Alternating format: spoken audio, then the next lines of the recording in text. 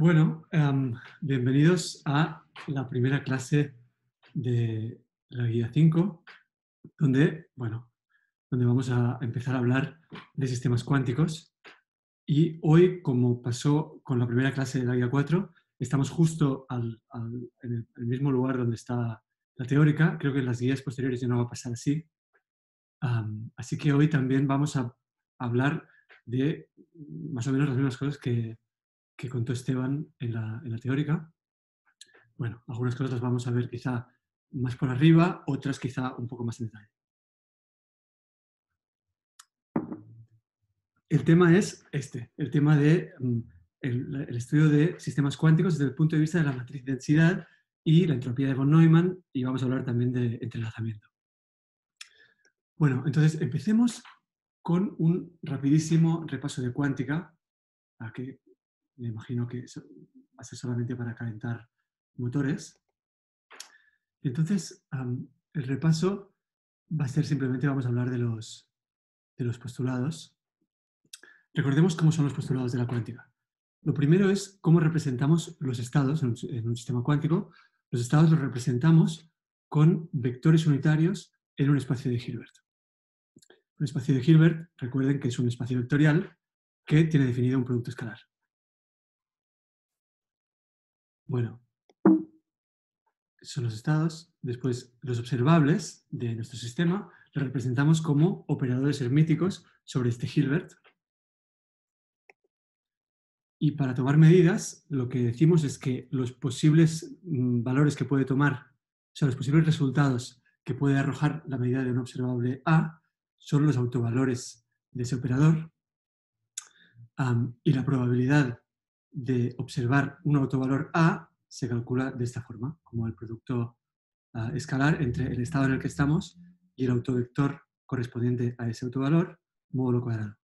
Esto es asumiendo que el autovalor A no está degenerado. Si estuviera degenerado, habría que sumar sobre todos los autovectores de una base, uh, o sea, una base del subespacio propio del observable A correspondiente al, al, al autovalor A. Bueno, a partir de este resultado para la probabilidad se deduce una expresión para el valor de expectación del observable, que todos la deben tener ah, muy presente, pero la voy a refrescar rápidamente, que es que si quiero calcular el valor, de, de expectación del observable A, lo que hago es sumo sobre todos los resultados posibles ese resultado, la probabilidad de ese resultado. Como la probabilidad está dada por esta expresión, pues tengo esto, simplemente usé que el módulo cuadrado es valor de expectación multiplicado, o sea, e, el número multiplicado por su complejo conjugado, que es esto de acá. Y ahora este A chiquita que aparece acá lo puedo meter acá dentro. Y si lo meto acá dentro, como este estado es propio del operador A, lo puedo reemplazar por el mismo operador A. Y ahora esto de acá, o sea, esta suma sobre A de esto, eso es una identidad. Supongo que todos tienen presente que la suma sobre, o sea, la suma de uh, ket bra para todos los elementos de una base ortonormal es la identidad. Así que esta suma de esta cosa es la identidad, así que eso se convierte simplemente, el valor de explicación del observable A es el operador A actuando sobre mi estado psi producto escalar con el mismo estado psi. Y esto, claro, estamos tan acostumbrados a ver esto que a esto ya le llamamos valor de expectación de A. Y bueno, cuando el o sea, dentro de los postulados asociados a la medida está el hecho de que después de medir el resultado A, el sistema pasa a estar en el estado propio correspondiente. Y el último postulado es acerca de la evolución, que no me voy a gastar en escribir porque no, no, no vamos a hablar de evolución temporal en esta clase, pero bueno, ya saben, la evolución está dictada por la ecuación de Schrödinger. Bueno, yo asumo que todas estas cosas son simplemente un repaso, que todo el mundo las tiene clarísimas, por eso estoy pasando rápido sobre ellas. Cualquier cosa, obviamente, no duden en cifrar. Bueno, estos son los postulados de la cuántica, entonces eh, en la guía se van a encontrar muchas veces con, creo que casi todos los problemas, sí, prácticamente todos, con el sistema más simple que existe, que es el qubit. Así como un bit ah, es un sistema que solo puede estar en dos estados, digamos 0 y 1, el qubit es un, sistema cuántico cuyo Hilbert tiene dimensión 2. Bueno, entonces, si, tenemos un Hilbert de dimensión 2, bueno, fíjense que el conjunto de todos los operadores que actúan sobre un determinado Hilbert es en sí mismo un espacio vectorial. o sea, si yo tengo dos operadores, los sumo y el resultado de la suma es otro operador sobre el mismo espacio vectorial. Así que el conjunto de todos los operadores es un espacio. Bueno, si mi Hilbert es un espacio de dimensión 2, el espacio de los operadores, bueno, son los operadores sobre un Hilbert de dimensión 2 son matrices 2x2. Para especificar una matriz 2x2 tengo que dar cuatro números, los cuatro elementos de esa matriz. Así que el espacio de todos los operadores sobre el Hilbert de un qubit tiene dimensión 4. Bueno, pues una base, la base más famosa de este espacio de dimensión 4 es la base formada por la identidad y por las matrices de Pauli, que son estas matrices de acá, que todos deben recordar. Bueno, las matrices de Pauli tienen una serie de propiedades que vamos a refrescar. La primera es que son hermíticas y de traza cero. Que son hermíticas, bueno, supongo que todos recuerdan lo que significa ser hermítico. Hermítico significa, o sea, tomar el adjunto es transponer y sacar complejo conjugado. Hermítico significa que el adjunto es igual al mismo operador.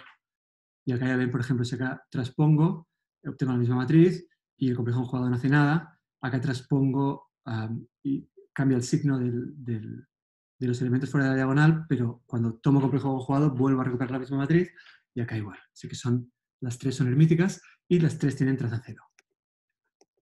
Otra propiedad que, bueno, hay que sentarse para probarla, es que el conmutador de dos matrices de Pauli, bueno, está dado por esta expresión, donde esto es el símbolo de Levi-Civita que, bueno, si acá pongo x, y, z, esto vale 1, y para cualquier ah, otra combinación, el valor de este símbolo está determinado por el hecho de que es completamente antisimétrico.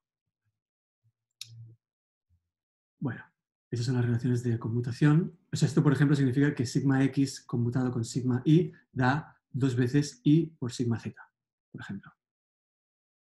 Bueno, esto es eh, respecto al conmutador. Y el anticonmutador, que quizá no es tan familiar para todos, el anticonmutador de dos operadores se define igual que el conmutador, pero cambiando este menos por más. Bueno, pues el anticonmutador de las matrices de Pauli es esto, dos veces la delta por la identidad.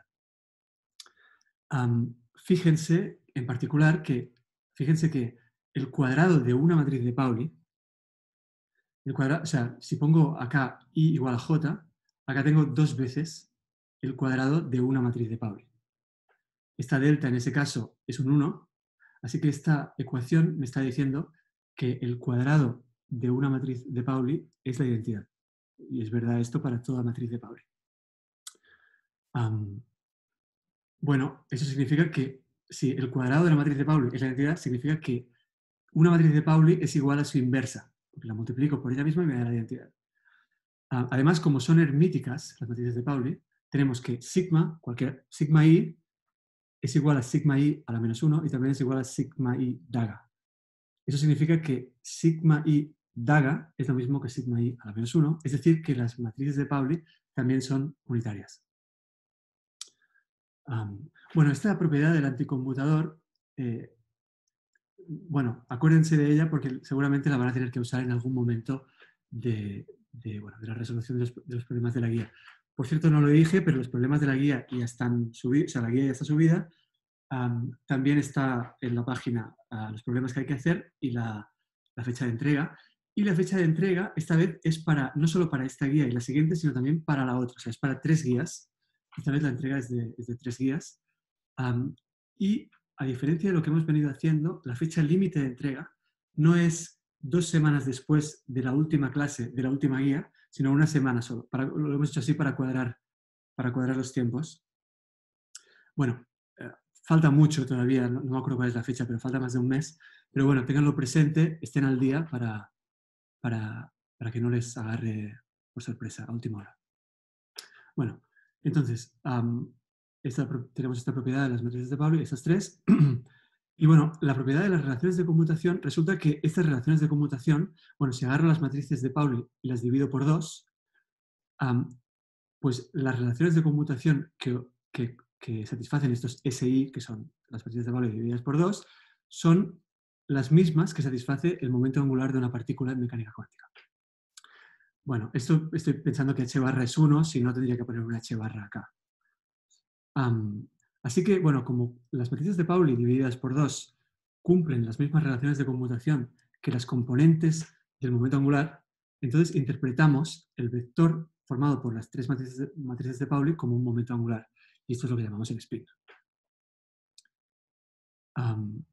y bueno, por último, el, último comentario así de repaso es que, bueno, ahora pensemos en una dirección cualquiera del espacio, descrita por un versor n, entonces este producto escalar sería la componente del spin en la dirección n. Bueno, este operador, este es un operador que lo pueden calcular muy fácilmente, o sea, agarran nx, lo multiplican por sx, que es una matriz bien definida, que es la sigma x dividido 2, y lo mismo con la componente y, lo mismo con la componente z, suman y obtienen una matriz 2x2, que se puede diagonalizar facilísimamente, como toda matriz 2x2. Ah, bueno, pues la pueden diagonalizar y pueden ver efectivamente que los autovalores son más o menos un medio. Es decir, la proyección de spin sobre cualquier dirección ah, es más o menos un medio. Y los autovectores correspondientes son estos, donde ah, esos ángulos son los típicos ángulos de esféricas, es decir, el tita y phi de, de esféricos de toda la vida. Estos vectores de acá pues son los, vectores de la base canónica. Bueno, acá si ponen tita igual a cero, pues recuperan, o sea, si ponemos, si ponemos tita igual a cero, este versor n es la dirección z, así que ah, lo que estamos calculando acá son los autovectores de sz, que son los que estamos acostumbrados a calcular. Y bueno, si ponen tita igual a cero, esto no está, porque el seno de 0 es 0. Y entonces esto es, esto es 1, acá tenemos una fase que es irrelevante. entonces lo que tenemos es que el autovector de la componente z del spin es el vector más, que es el 1, 0. O sea, es el con autovalor más un medio y con, autovalor menos un medio es este vector, el vector 0, 1. Bueno, eso, eso lo comenté porque, porque va, porque bueno, estas expresiones, alguna de estas expresiones va a aparecer en la guía, por eso quise comentarlo. Bueno, eso es todo respecto al repaso de las bases muy, muy básicas de, cuántica. Entonces vamos a entrar a hablar de matriz densidad. Entonces, bueno, como hemos dicho hace un momento, estábamos diciendo que describíamos los estados del sistema cuántico como kets, como vectores unitarios de un Hilbert. Bueno, hay una noción más general de estado, que Esteban ya, ya discutió bastante, que es esta noción de un ensamble. Es decir, o sea, podemos pensar en un, ensamble en el que tenemos una colección de estados, cada uno con su probabilidad. Entonces, es importante ah, remarcar que esta colección de estados, estos estados de acá, o sea, esta colección de estados puede ser cualquier colección de estados. Quiero decir, estos psi no tienen, estos psi sub i no tienen por qué ser una base, no tienen por qué ser ah, ortogonales, no tienen por qué ser linealmente independientes. El número de estos vectores puede ser cualquiera, no tiene por qué ser menor o igual a la dimensión del espacio, puede ser muchísimo más grande que la dimensión del espacio, etc. Por ejemplo, o sea, un ejemplo de un ensamble de estos podría ser el siguiente. Por ejemplo, yo tiro un dado, uh, pensemos por ejemplo que mi sistema es un qubit, y entonces yo tiro un dado, ah, y si sale 1, preparo el estado más si sale 2, preparo el estado menos. Si sale, si el dado me da 3, preparo una combinación lineal de los estados más y menos. Si sale 4, preparo otra combinación lineal y así hasta 6. Eso sería un ensamble posible. quiero remarcar esto, que ah, en, principio, cuando hablamos de esta noción más general de estado, contemplamos cualquier tipo de ensamble que se nos, que se nos ocurra. Bueno, entonces, eh, esta es una, noción más general de estado, que que vamos a considerar y, bueno, ah, quizá, eh, quizá conviene que remarque ahora que esto es una cosa un poco, o sea, esto de referirse a este ensamble como una noción más general de Estado es una cosa que nos debería parecer rara, porque mm, el, análogo de un Estado en mecánica clásica son condiciones iniciales, son, es una condición inicial. Eso es lo que podríamos ah, llamar un Estado en mecánica clásica. Entonces, cuando hablamos de mecánica clásica, claramente podemos considerar condiciones iniciales random. Podemos hacer eso, podemos estudiar sistemas, y lo hemos hecho en la guía anterior precisamente, sistemas eh, cuyas condiciones iniciales pensamos que son cosas random, pero no llamamos a esto una noción generalizada de condición inicial. Es una cosa, es una cosa un poco rimbombante esto de llamar noción generalizada de estado a este ensamble, a, una colección random de, estados. Pero vamos a ver más adelante en la clase que la, y es una propiedad exclusiva de la física cuántica, que es necesaria esta noción más general de estado para describir subsistemas de un sistema cuántico. Es decir, que eh, o sea, el, el, hecho mismo de introducir esta noción más generalizada de estado ya eh, o refleja una propiedad intrínseca de la física cuántica que no está en la física clásica. Por eso, en la física clásica no hacemos esta cosa rimbombante de llamar a las condiciones iniciales random una noción generalizada de condición inicial. Bueno, eso, eso es una, noción ah, más general de estado. bueno, entonces decimos que si, si, esta colección tiene un solo estado, con lo cual la P correspondiente es 1, si la colección tiene un solo estado, entonces decimos que el estado es puro, y si tiene más de uno, si tenemos un ensamble que no es trivial, entonces decimos que el estado es mixto. Bueno, ahora pensemos, supongamos que tenemos una tal colección, un tal ensamble de estados, y calculemos el valor de expectación de algún observable O. Y bueno, para calcularlo, ¿qué haremos? Bueno, lo que hacemos es sumamos sobre todos los estados de la colección la probabilidad de que estemos en ese estado por el valor de expectación de O si estamos en ese estado. Y ahora fíjense, y esto es importante entender este paso, fíjense que este valor de expectación es lo mismo que esta traza. Y ahora, o sea, para entender esto, ah, bueno, eh, o sea, fíjense que para calcular esta traza, lo que tengo que hacer es agarrar este operador y ensanguchar a izquierda y derecha con una base ortonormal. Y sumar sobre todos los elementos de la base. Ahora, yo puedo elegir, la traza es, independiente de la, base, puedo elegir, por ejemplo, una base ortonormal que tenga a psi sub i como uno de sus elementos. Si elijo esa base, está claro que el término correspondiente a ensanguchar con psi sub i va a ser el único que me va a dar una contribución no nula, porque los otros términos me van a dar un vector normal a psi sub i, producto escalar con psi sub i, y eso es cero. Así que si elijo una base, que tenga, una base ortonormal que tenga a psi sub i como uno de esos elementos, entonces es claro que esta traza vale el, el producto escalar de psi sub i consigo mismo, que es 1, por psi sub i o y psi sub i a la derecha, que es este de acá. Así que esta traza de acá es lo mismo que este valor de expectación.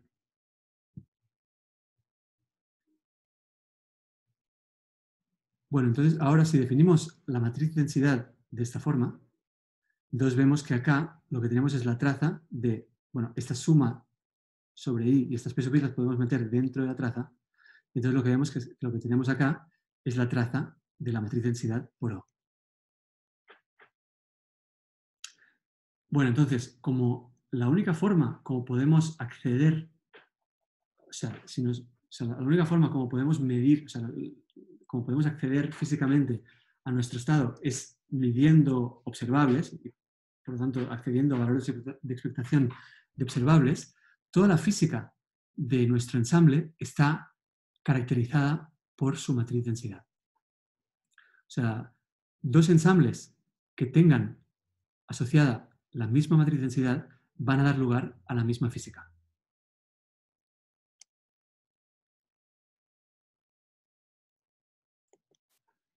Bueno, entonces, hablemos un poco de propiedades de la matriz densidad. Primero es hermítica. Esto, fíjense por qué es hermítica. Bueno, porque es una combinación lineal con coeficientes reales de, un opera, de operadores que son hermíticos. Estos operadores son claramente hermíticos, la forma más fácil de verlo es de vuelta usar una base ortonormal que tenga a psi sub i como uno de sus elementos. En esa base, este operador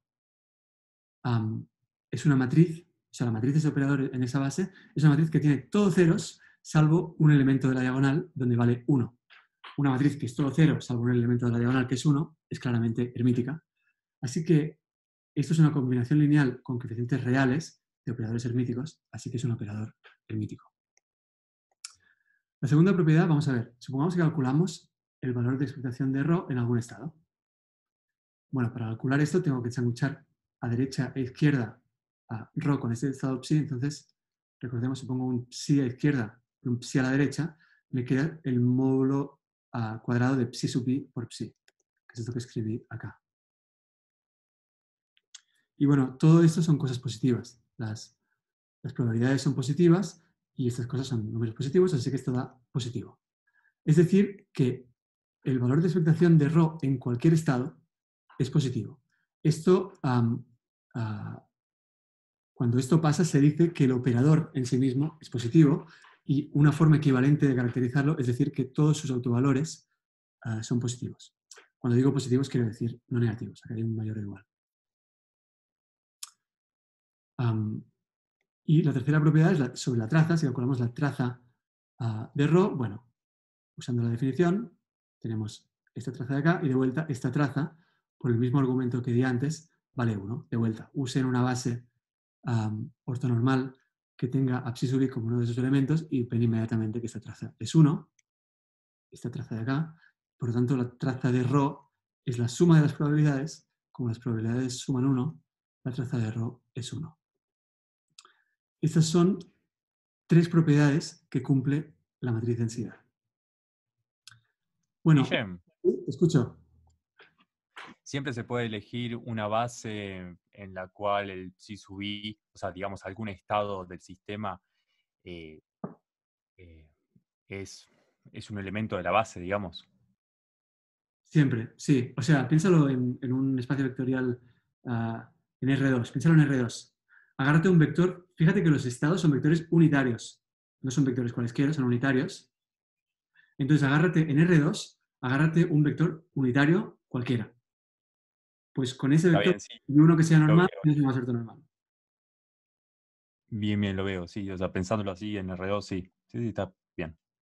Sí, y es un resultado general, que dado cualquier vector unitario, existe una base ortonormal que tiene a ese vector como uno de sus elementos. La forma como se puede probar más en general es con esa, el, protocolo este de Gram-Schmidt, no sé si, te acuerdas. bueno, es una ah, sí. Que con Gram-Schmidt, ah, usando el, método de Gram-Schmidt, te construyes una base ortonormal que tenga cualquier elemento que tú, o sea, que tenga, que tiene a cualquier vector que tú quieras como uno de esos elementos. Perfecto, sí, sí, me acuerdo. Bien, bueno, entonces, estas son tres propiedades de la matriz de densidad y resulta, bueno, Esteban ya lo, ya lo mencionó, y vamos a ver ahora, que estas tres propiedades, o sea, o sea, hemos visto que la matriz de densidad cumple estas tres propiedades, bueno, pues recíprocamente, cualquier operador que cumpla estas tres propiedades es a su vez una matriz de densidad. Entonces vamos a ver esto. O sea, entonces, supongamos que cumple la primera propiedad. La primera propiedad implica, como sabemos, todo operador hermítico es diagonalizable por una base ortonormal y tiene autovalores reales. Entonces, como tenemos un operador hermítico, entonces significa que podemos encontrar una base ortonormal ah, que es propia de ese operador. El hecho de que sea propia lo podemos escribir así. espero que esto sea claro para todos. En realidad es una pavada esto, porque fíjense que, o sea, a ver, ρ siempre lo puedo escribir como rho por la suma por i de esta cosa, porque esta suma por i de esta cosa es la identidad. Y ahora, decir que esta base es propia de rho es lo mismo, o sea, puedo reemplazar este rho por el autovalor correspondiente. Bueno, eso es una expresión que los que tengan la cuántica fresca no les va a, resultar, o sea, les va a resultar súper familiar, a los que no la tengan tan fresca quizá no tanto, pero la forma rápida de, de entenderla es esta que les acabo de decir. Bueno, entonces, tenemos esto. O sea, por la primera propiedad tenemos que Rho ya se puede escribir tipo matriz densidad, solo que la matriz densidad, lo que, lo que le pasa a una matriz densidad es que estas, tenemos una, una expresión de este tipo, pero los coeficientes que aparecen acá son probabilidades. Acá de momento, por el hecho de Rho ser hermítico, solo podemos decir que esos coeficientes son reales. Pero bueno, ahora usamos esta segunda propiedad. Esto tiene que valer para cualquier estado.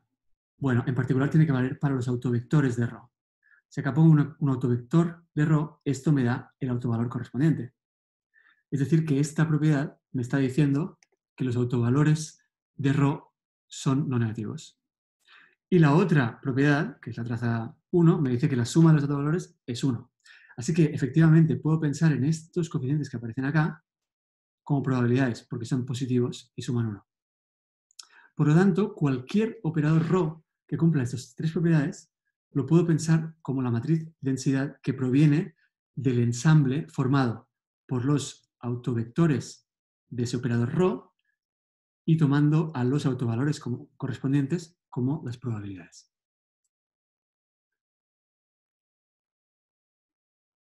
Así que bueno, una forma equivalente de decir, o sea, eso, una matriz densidad es exactamente un operador que cumple estas tres propiedades. Bueno, entonces hay una cosa que, ya que quiero remarcar, que es que ah, de esto que acabamos de ver, ya inmediatamente podemos deducir que puede haber, en general, más de un ensamble que dé lugar a la misma matriz densidad. Y esos ensambles, bueno, acá puse que son físicamente indistinguibles, quizás es un poco, es un poco exagerada esa, esa observación, pero quiero decir que esos dos ensambles van a dar lugar exactamente a la misma física. Eh, o sea, ¿por qué esto se deduce? O sea, ¿por qué el hecho de que haya más de un ensamble con la misma matriz de densidad se deduce inmediatamente de lo que acabamos de ver? Bueno, porque agarremos un ensamble cualquiera, donde estos psi son cualquier, cualquier ensamble que, que queramos. Bueno, y con esos ensambles nos construimos una matriz de densidad ρ. Bueno, pues ahora agárrate a esta ρ, sácale los autovalores, o sea, diagonalízala y con sus autovectores y sus autovalores te construyes otro ensamble que tiene asociada la misma matriz densidad ρ. Así que tenemos dos ensambles distintos con la misma matriz densidad ρ.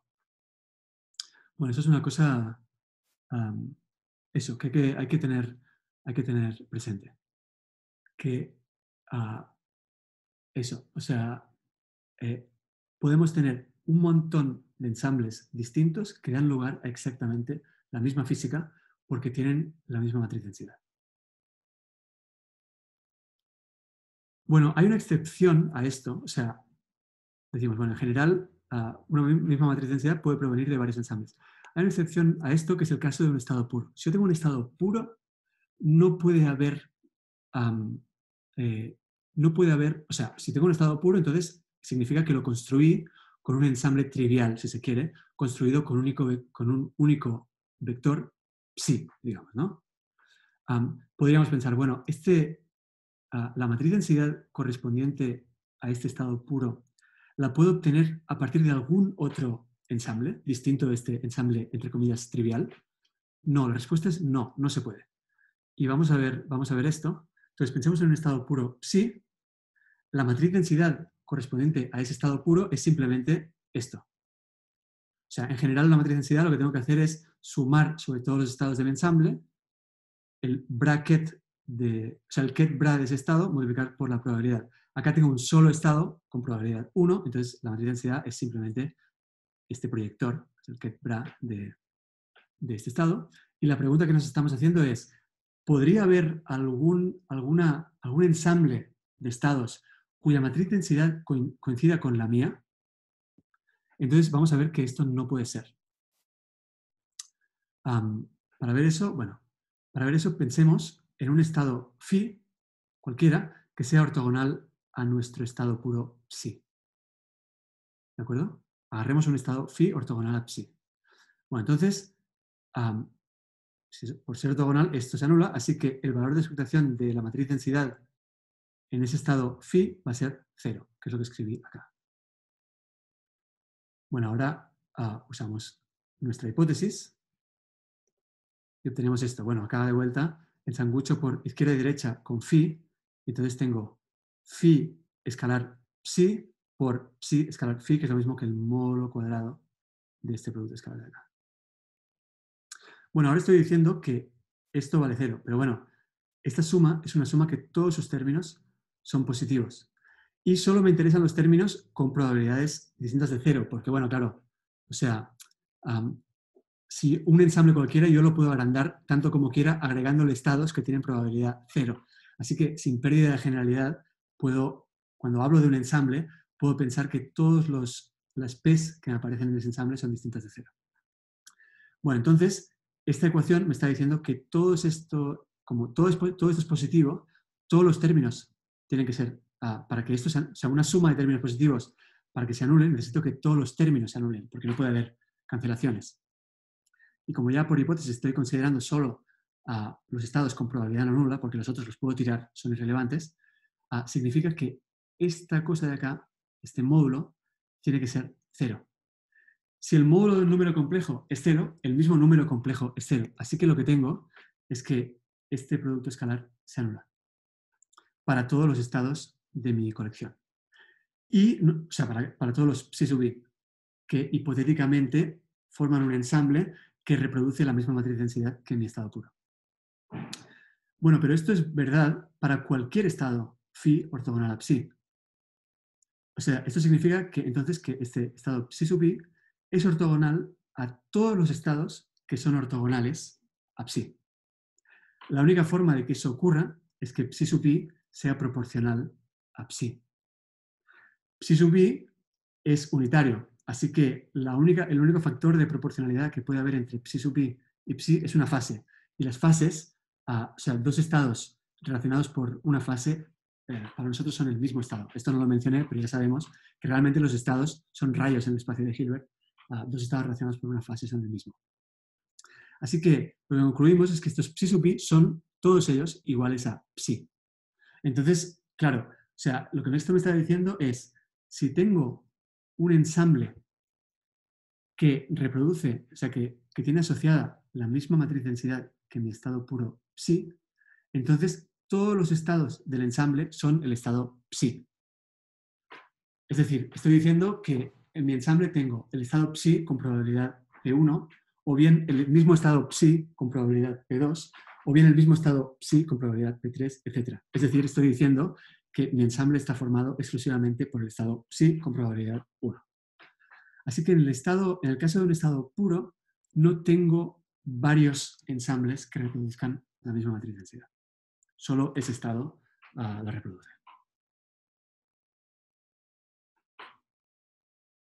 Bueno, entonces vamos a hablar ahora un poquito, es algo que mencionó Esteban muy al pasar, de geometría del conjunto de todas las matrices de densidad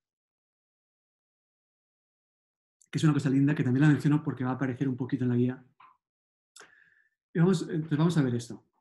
Ah, consideremos dos matrices de densidad, ρ1 y ρ2, y un número real entre 0 y 1. Entonces, si hacemos esta suma, esta combinación lineal que se llama una combinación lineal convexa, o yo muchas veces voy a referirme a esto como una suma convexa. Esto es, a su vez, una matriz de densidad. Es muy fácil de ver. Primero, a esto es hermítico, porque estos lambda son todos, los coeficientes son todos reales y los ROS, los ρ1 y ρ2 son matrices de densidad, por hipótesis, así que es una combinación lineal de operadores hermíticos con coeficientes reales, entonces este operador es hermítico. Ah, eh, si tomo el valor de expectación en cualquier estado, me da positivo porque el valor de expresión de ρ1 y ρ2 me va a dar positivo y estos coeficientes lambda y 1 menos lambda son positivos porque lambda está entre 0 y 1. Y por último, la traza da 1 trivialmente porque si tomo la traza de esto me da lambda por 1 más 1 menos lambda por 1. Así que, bueno, eso, la traza de esta combinación lineal es 1 también. Así que efectivamente, si agarro dos matrices de densidad y tomo una combinación lineal convexa de estas matrices de densidad, obtengo otra matriz de densidad. fíjense que, como hemos dicho antes, los operadores el conjunto de todos los operadores es en sí mismo un espacio vectorial. Así que tengo todo el derecho del mundo a pensar en un operador como una flecha. Un operador es un vector en algún espacio vectorial, entonces puedo pensar en los operadores como flechas. Y voy ahora a poner un dibujo donde represento los operadores como flechas. Entonces, esta suma convexa, fíjense que la podemos reorganizar así.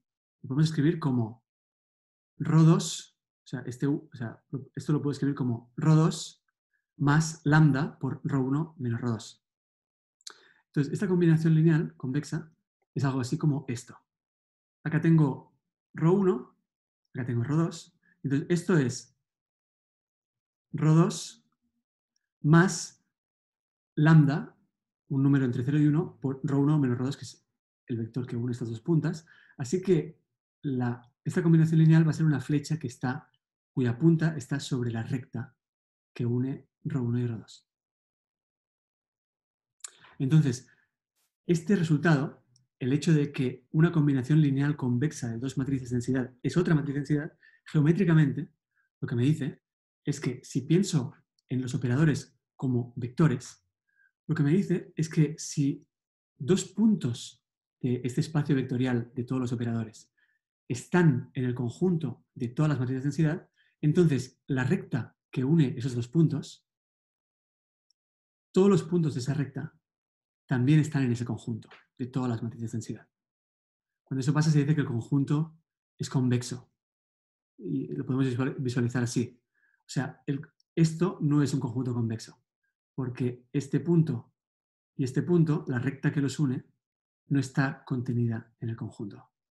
Esto sí es un conjunto convexo, cualesquiera dos puntos, la recta que los une, sí está contenida en el conjunto. Entonces, lo que este resultado nos dice es que el conjunto de todas las matrices de densidad tiene una pinta de este tipo. Es un conjunto convexo. Bueno, y hay, otra cosa que no voy a probar, pero es muy sencillo. O sea, esto se, se prueba de la misma forma como probamos que un estado puro no tiene, o sea, un estado puro no tiene ambigüedad, no se puede representar de varias formas como un ensamble. Por el mismo argumento, ah, uno puede ver que un estado es puro si solo si no admite una descomposición no trivial como combinación lineal de otros estados. Combinación lineal convexa de otros estados. Por no trivial quiero decir, o sea, cualquier estado lo puedo escribir de esta forma si pongo ρ1 y ρ2 iguales a ρ. Eso sería una combinación, o sea, si yo acá pongo ρ1 y ρ2 iguales a ρ, esto es una ecuación trivial. Eso sería una combinación lineal convexa que cualquier estado la puedo escribir de esta forma. O sea, una, una suma convexa trivial una descomposición trivial, cualquier estado lo puedo escribir como, una descomposición trivial de esta forma, con ρ1 y ρ2 iguales a ρ. Pero un estado puro no se puede escribir de esta forma con ρ1 y ρ2 distintos de ρ. Eso es lo que quiero decir con el hecho de que un estado puro no admite una descomposición no trivial como suma convexa de dos estados. Bueno, y no en realidad son sí solo sí. O sea, es una cosa que caracteriza completamente los estados puros. Los estados puros son exactamente aquellos que no admiten una, descomposición no trivial como suma convexa de otros estados. Bueno, esto es completamente general. Lo que van a ver ustedes en la, guía es el caso particular de un qubit. En ese caso, ustedes van a, van a poder ver que en este caso el conjunto de todas las matrices de densidad es una bola en R3. Una bola, ya, ya, vemos obviamente que es un conjunto convexo. bueno, pues van a ver ustedes que el conjunto de todas las matrices de ah, densidad para un qubit es una bola en R3. Y los estados puros son justo los que están sobre la superficie de la bola bueno, o sea, es muy intuitivo que, estén, que los estados puros estén justo en la superficie, porque hemos dicho que los estados puros no se pueden representar como combinación lineal convexa de dos estados. Entonces, si yo agarro un estado acá en la superficie, ya se ve que si, si yo lo quiero escribir como una suma convexa de dos estados, significa que este punto tiene que estar en una recta que une estos estados. no puedo dibujar ninguna recta que pase por un punto en la superficie y que tenga sus dos extremos ah, contenida en el, conjunto. Así que, bueno, es, es, intuitivo que los estados puros estén en la superficie. O sea, se condice con el hecho de que los estados puros no se pueden, no admiten una descomposición no trivial. Acá, bueno, yo les podría preguntar una cosa. Se lo voy a preguntar, voy a esperar, nada, medio minuto a ver si alguien responde, si no, voy a responder yo, que es que, ¿de dónde salió este R3 acá? O sea, estamos hablando de... o sea, estamos hablando de, de, un sistema, de un qubit, cuyo Hilbert tiene dimensión 2, por lo tanto, el espacio de todos los operadores tiene dimensión 4. ¿De dónde sale este R3? ¿Alguien me lo puede decir?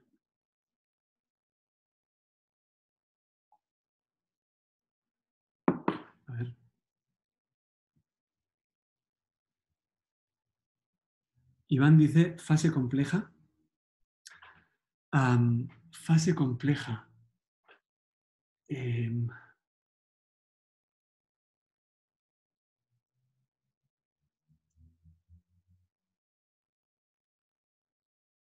bueno, bien, o sea, bien, bien. Facundo dice, de las condiciones sobre RO te achican la cantidad de parámetros libres, perfecto. Y Andrés dice, traza uno, perfecto. O sea, sí, eh, eh, exactamente, es eso. Iván dice fase compleja.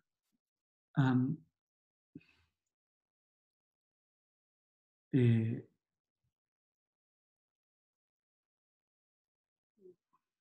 claro, o sea, cuidado que, bueno,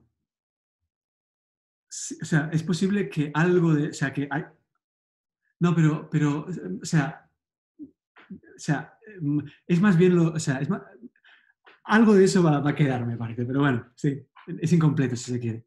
Bueno, o sea, efectivamente, efectivamente, e, el R3 sale efectivamente de las condiciones sobre RO, en particular, bueno, efectivamente, es esto que, dicen por acá, que viene de las condiciones sobre RO y del hecho de que la traza es, efectivamente, vamos a ver eso.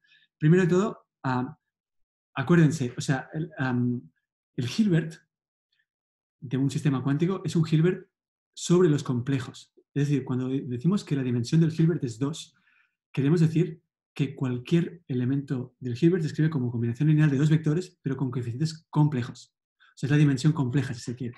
La dimensión real del Hilbert sería 4, porque hay que dar cuatro números reales para especificar un vector. De la misma forma, el espacio de operadores, todos los operadores, ah, sobre este Hilbert, tiene dimensión compleja 4, dimensión real 8. Pero ahora, primera cosa, las matrices de densidad son hermíticas, así que nos podemos restringir al subespacio de operadores hermíticos. Los operadores, el conjunto, el espacio de operadores hermíticos tiene dimensión real 4. Porque, bueno, para especificar una matriz hermítica, que tengo, o sea, los elementos de la diagonal son reales. Así que tengo dos números reales y los de la fuera de la diagonal no son reales, pero uno es el complejo conjugado del otro. Así que tengo que dar dos números reales, que son los de la diagonal, y un número complejo, que es el que está afuera de la diagonal. Es uno de los dos que están afuera de la diagonal. Así que tengo que decir cuatro números reales para especificar una matriz hermítica.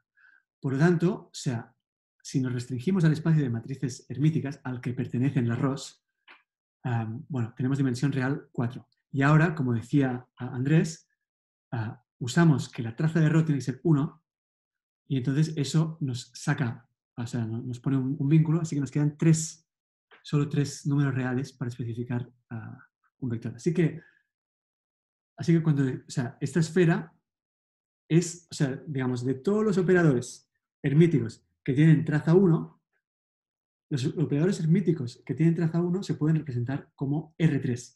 Pues de todos estos, las matrices de densidad, que son los que además de eso son positivos, forman la esfera de Bloch que es esta bola. Bueno, usando la esfera de Bloch podemos tener una, forma más gráfica de visualizar ese hecho que les decía, de que una misma matriz de densidad se puede escribir, o sea, se puede entender como proveniendo de varios ensambles distintos. Porque, por ejemplo, esta matriz de densidad la puedo pensar como suma convexa de estos dos estados puros.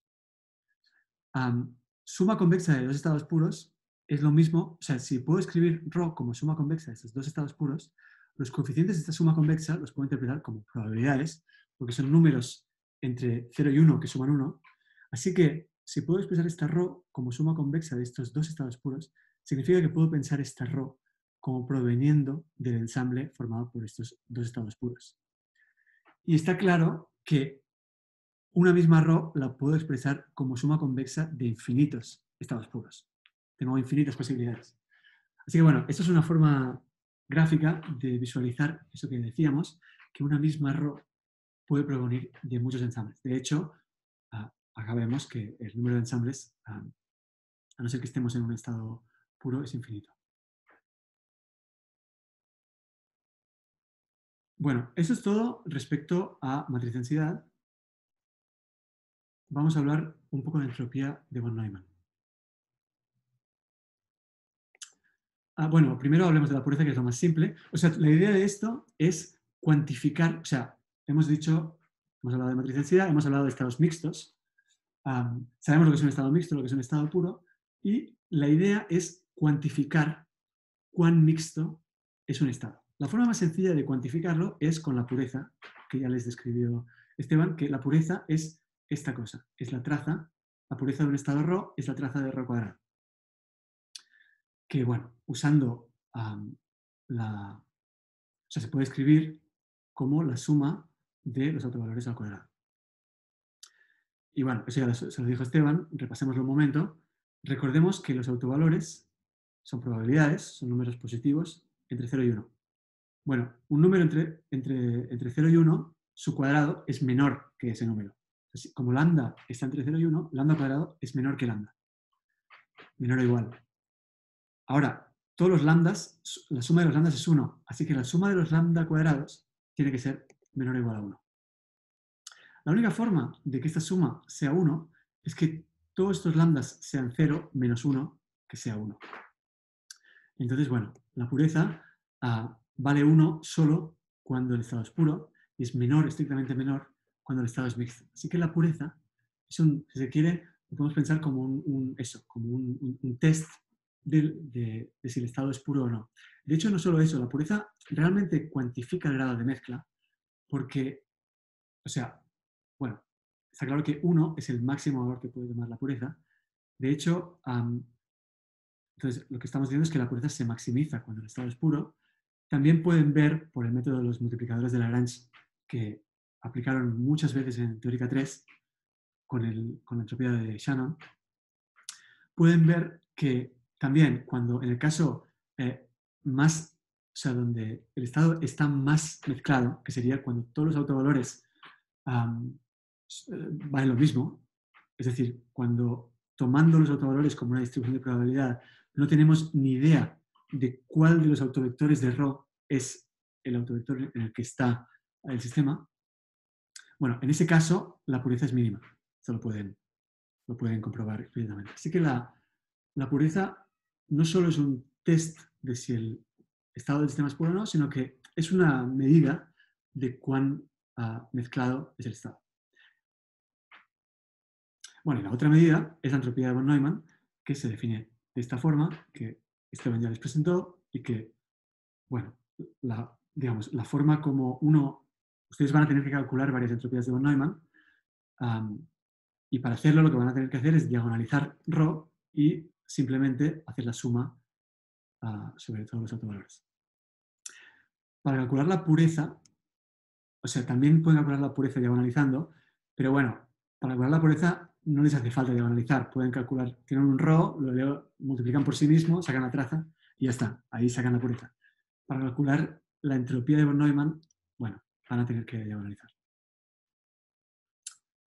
Bueno, la entropía de von Neumann no es otra cosa que la entropía de Shannon asociada a los autovalores de la, de la matriz de ansiedad.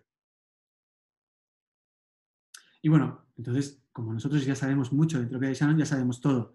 Sabemos que esta entropía ah, es máxima cuando hay un, sea, cuando hay un único autovalor ah, no nulo y mínima cuando todos los autovalores son iguales.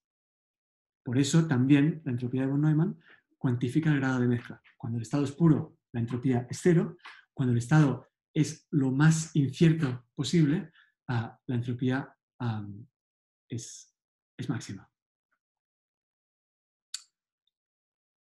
Bueno, entonces, una, una, cosa que, que, hemos dicho es que, y he enfatizado mucho, que una misma matriz de densidad puede venir de muchos ensambles distintos.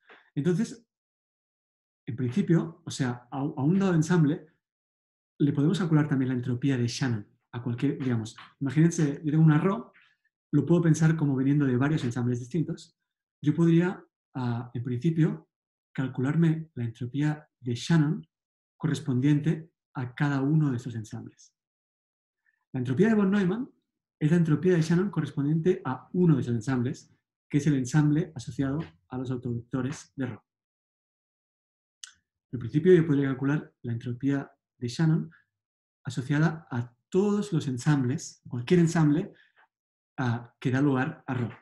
Bueno, pues un resultado que yo no les voy a probar porque es que no lo sé probar, porque me parece que es complicado, al menos me pareció complicado, que hay que beber de muchas fuentes para, para entenderlo, es que la entropía de von Neumann es la mínima de todas estas entropías de Shannon.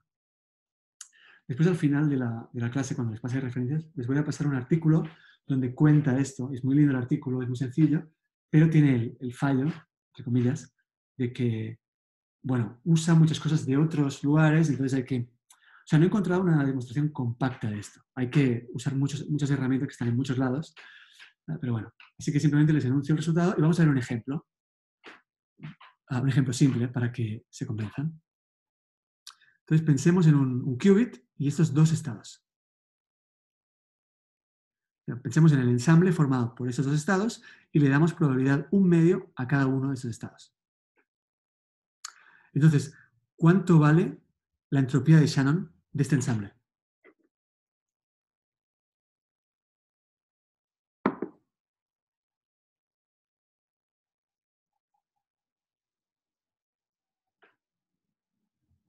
Se lo pregunto a ustedes, ¿eh?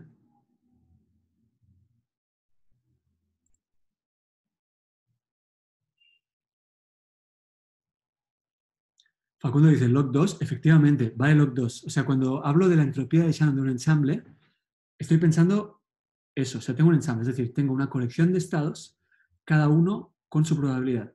Bueno, pues entonces tengo una distribución de probabilidad y a esta distribución de probabilidad le puedo calcular una entropía de Shannon. Bueno, en este caso, la distribución de probabilidad es un medio, un medio. La entropía de esta distribución de probabilidad es log 2. Y ahora, si, entonces la entropía de Shannon de esta distribución de, este ensamble es log 2. Ahora, si yo quiero calcular, a ver,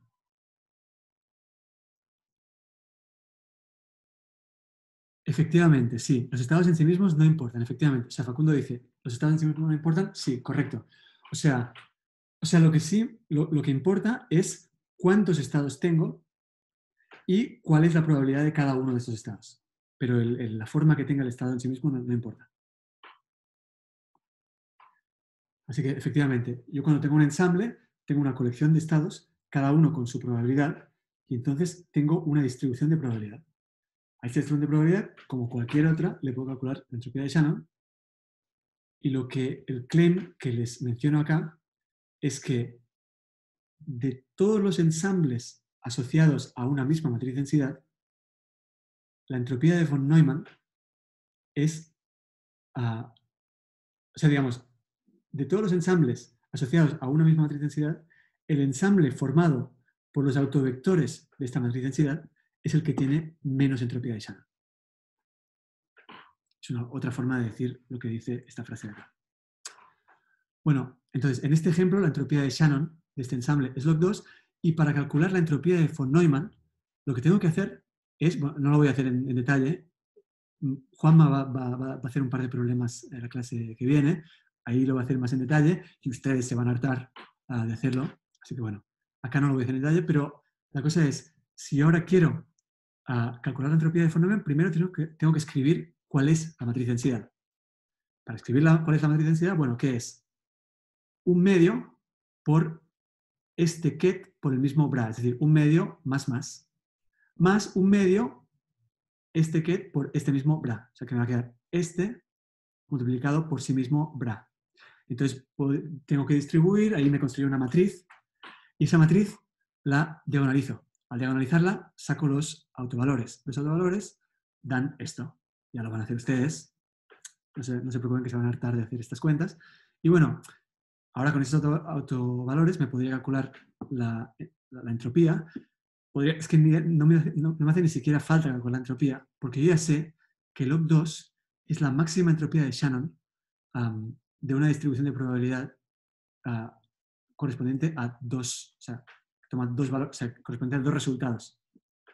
Así que, como esos autovalores son distintos entre sí, la distribución de probabilidad correspondiente a estos, dos autovalores distintos ya está claro, no hace falta hacer la cuenta, que tiene menos entropía. Así que efectivamente en este ejemplo vemos que la entropía de von Neumann o lo que es lo mismo, la entropía de Shannon correspondiente al ensamble formado por los autovectores de Rho con sus probabilidades, es menor que la, entropía del otro ensamble. Bueno, eso es un ejemplo de un resultado muchísimo más general que es este, que es este que les enuncié ahora.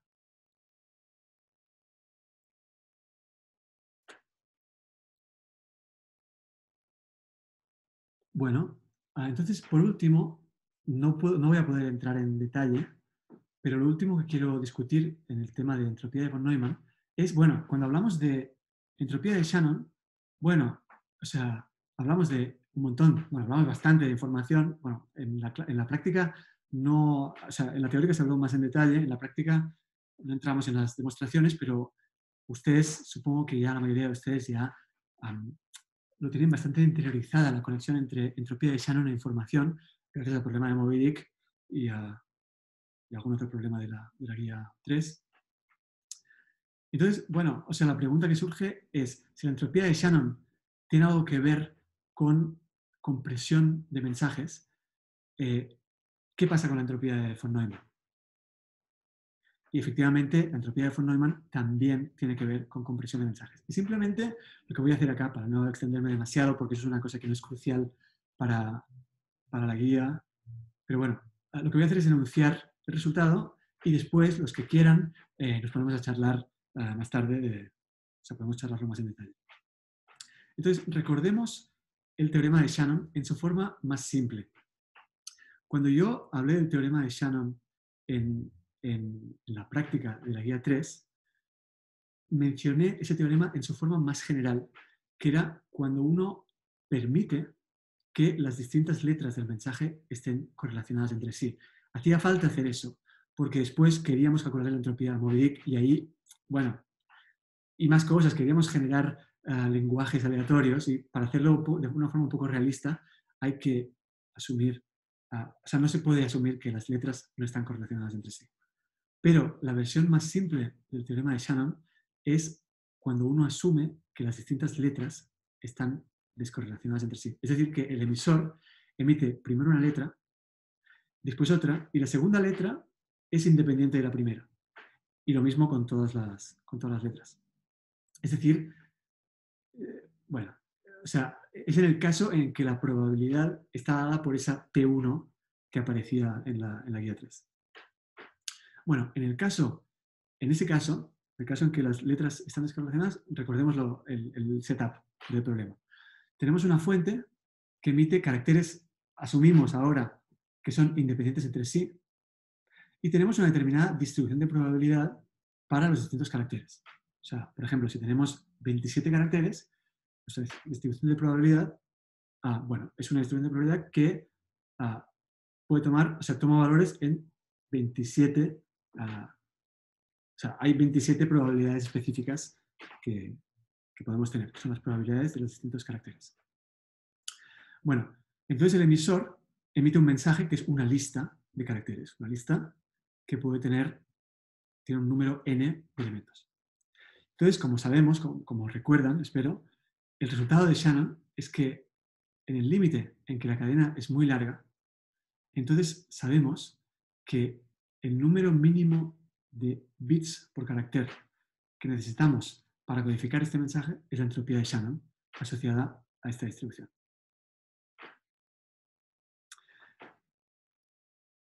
o sea, en el caso en el que había correlación, no era directamente una entropía, sino que había que calcular una entropía y había que dividir por n y bla, bla, bla. Acá, si asumimos que no hay correlación, la entropía que calculamos es directamente de la probabilidad de un carácter y es directamente esa entropía la que da el número mínimo de bits por carácter para codificar el mensaje. Bueno, entonces ahora voy a enunciar el teorema análogo para la entropía de von Neumann. Simplemente lo voy a enunciar. Es un teorema de Schumacher de hace relativamente poco. Entonces ahora ah, pensemos lo mismo, la misma situación, pero ahora la fuente, ah, en lugar de emitir, o sea, en lugar de emitir letras, lo que emite son estados cuánticos de un determinado sistema físico. Es decir, bueno, eso. O sea, ah, lo, que nos, lo que nos manda el emisor ahora son estados cuánticos. Y la información que tenemos, en el caso de Shannon, la información que teníamos era la probabilidad de cada letra, acá la información que tenemos es, bueno, esos estados cuánticos en principio están agarrados de algún ensamble y nosotros no sabemos cuál es el ensamble. No sabemos cuál es la colección de estados de la que el emisor agarra los estados y las probabilidades asociadas. No sabemos eso. Lo único que sabemos es cuál es la matriz densidad asociada a ese ensamble. En particular, el emisor podría, en cada paso del proceso, podría agarrar su estado, podría emitir un estado agarrado de un ensamble distinto. Eso se puede hacer, o sea, está permitido en este teorema. Lo único que, le, pedimos es que, o sea, lo que está, mm, digamos, el dato que tenemos es la matriz densidad. Bueno, entonces nuestro emisor va a emitir un mensaje que es una colección de estados cuánticos. Entonces, el teorema análogo al teorema de Shannon es que cuando la longitud del mensaje es muy grande, entonces el número mínimo de qubits, ahora no de bits, sino de qubits por carácter para codificar este, mensaje es la entropía de von Neumann. Bueno, voy a hacer un comentario que mm, o sea, fíjense que, no sé si, espero que se haya entendido el enunciado, pero fíjense que esta cosa de permitir a cualquier ensamble, o sea, por ejemplo, el emisor podría agarrar sus estados de un ensamble con un número, o sea, por ejemplo, pensemos que o sea, el, emisor podría agarrar sus, sus, estados de un ensamble enorme, muchísimo más grande que la dimensión del Hilbert del cual saca sus estados. Entonces, o sea, para, para cada uno de estos, o sea, nosotros sabemos que para codificar clásicamente, da igual, no me voy a meter en eso. O sea, lo que quiero decir, o sea, lo, que quiero decir es que este, de acá, de este resultado, simplemente voy a decir eso, de este resultado, pensándolo un poco, pueden visualizar, me parece a mí, el poder, o sea, eh, pueden visualizar el poder de los qubits como ah, sistema de, almacenar, de almacenado de información. Porque la entropía de Shannon del mensaje, o sea, la entropía de Shannon ah, asociada a este proceso, podría ser muchísimo más grande que la entropía de von Neumann. Hemos dicho antes que la entropía de von Neumann minimiza la entropía de Shannon la entropía de Shannon podría ser muchísimo más grande que la entropía de von Neumann. Ah, entonces, si queremos codificar clásicamente el mensaje, sabemos que estamos ah, limitados por abajo por la entropía de Shannon. Entonces, o sea, usando qubits, podemos codificar con un número relativamente pequeño de qubits un mensaje cuya entropía de Shannon podría ser gigantesca. Y por lo tanto, el número de bits clásicos que necesitaríamos para codificar ese mensaje podría ser gigantesco. Eso es lo que, quería decir. Bueno, eso es todo respecto a este tema de entropía e información. Y por último, vamos a pasar a hablar de entrelazamiento, que es acá donde los que, ya no, los que no lo sepan ya van a entender el porqué de esta cosa rimbombante de llamar estado generalizado a un estado random o a un ensamble, a un ensamble de estados. Entonces, para hablar de entrelazamiento, primero tenemos que recordar lo que es el producto tensorial. Entonces, vamos a recordarlo en un segundo. O sea, pensemos que tenemos dos Hilberts, HA, HB. Entonces, el producto tensorial de estos dos Hilberts es otro Hilbert, que lo denotamos de esta forma, que viene equipado con otra cosa, que es un mapa, que es el mapa producto tensorial, que es un mapa que me agarra un estado, o sea, un vector del Hilbert A, un vector del Hilbert B, y a partir de estos dos vectores me produce otro vector que denotamos de esta forma, de este Hilbert HA por HB. A este, a este vector lo vamos a denotar de varias formas, según el contexto.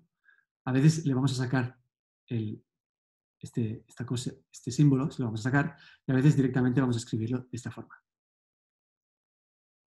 Entonces, este mapa se asume bilineal. Bilineal, supongo que se acuerdan lo que significa, significa que si yo ahora, en lugar de poner psi, pongo a por psi 1, o sea, en lugar de poner phi, acá pongo a por phi 1 más b por phi 2, el resultado de, o sea, la imagen del par psi y a por phi 1 más b por, por phi 2 es a por, bueno, si reemplazo phi por a por phi 1 más b por phi 2, el resultado es reemplazar este vector por este mismo, reemplazando phi por phi 1 por a, más este mismo, reemplazando phi por phi 2 por b. Bueno, esto es lo que significa que sea bilineal, que es lineal en cada uno de sus dos argumentos. Por eso se dice lo de bilineal. Entonces, a este mapa se le piden dos cosas. Primero, se pide que cualquier vector de este Hilbert se pueda escribir como combinación lineal de vectores de este tipo, de vectores imagen del mapa producto sensorial. Estos vectores los vamos a llamar vectores producto. Esta es la primera cosa que se le pide. Y la segunda cosa es que de alguna forma respete el producto interno, el producto escalar, cumpliendo esta propiedad. Es decir, que el producto escalar de estos dos estados, que están construidos a partir de estados de HA y de HB, es el producto, es el producto de productos escalares.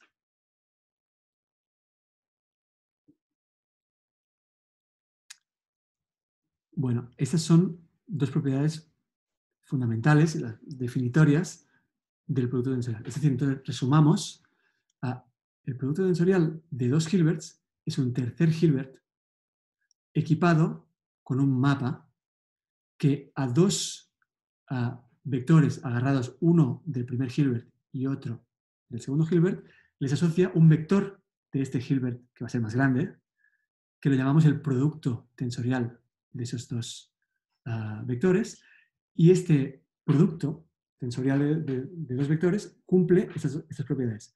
Los productos tensoriales de vectores generan el Hilbert más grande y respetan el producto escalar. O sea, esta, esta propiedad, espero que se entienda bien, supongo que todos, o sea, no es nuevo esto para ustedes. O sea, eso significa que si, eso, si yo agarro dos vectores producto y saco su producto escalar, el resultado es lo mismo que agarrar cada uno de los, o sea, el primer factor del primer vector producto y el primer factor del segundo vector producto, saco el producto escalar de esos dos vectores que están los dos en HA y el resultado lo multiplico por el producto escalar de los otros dos vectores que están los dos en HB.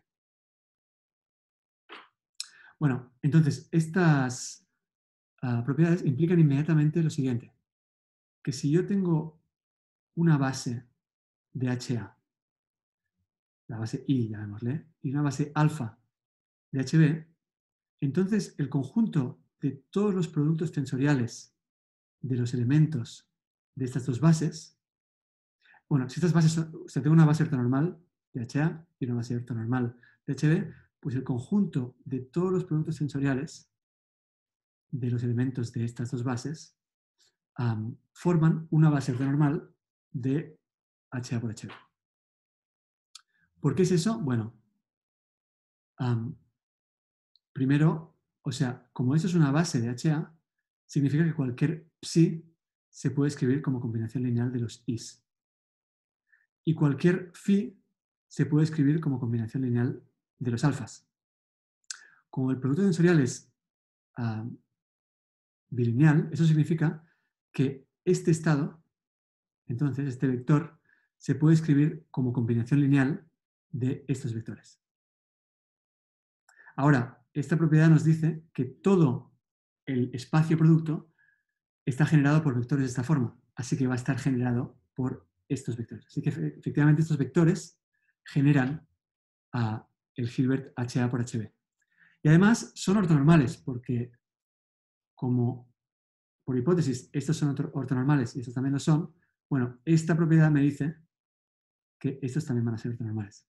Por ejemplo, el 1 alfa multiplicado por el 2 beta, digamos, 1 alfa por 2 beta, va a dar, por esta fórmula, va a dar 1 escalar 2 por alfa escalar beta, 1 escalar 2 es 0, así que 1 alfa por 2 beta es 0.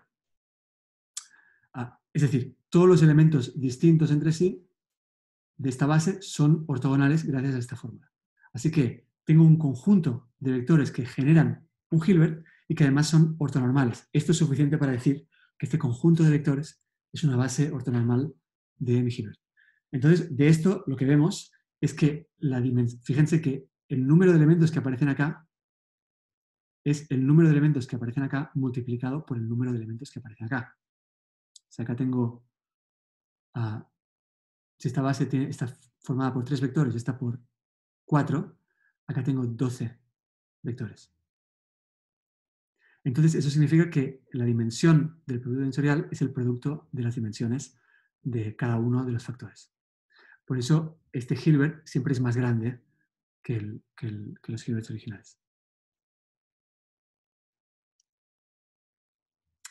Bueno, ese es el producto tensorial. Esa es una, es una, definición muy abstracta para, bueno, para aquellos que se sienten incómodos con una definición tan abstracta, la razón por la que uno muchas veces se queda con la definición abstracta del producto tensorial es que, los casos simples, los casos simples, no triviales, son un poco, bueno, no son tan intuitivos. Pero bueno, yo les voy a dar un ejemplo que quede, no voy a dar ningún detalle, pero voy a dar un ejemplo para el que quiera jugar con ese ejemplo para eso, ver una cosa bien explícita de cómo se construye un producto tensorial.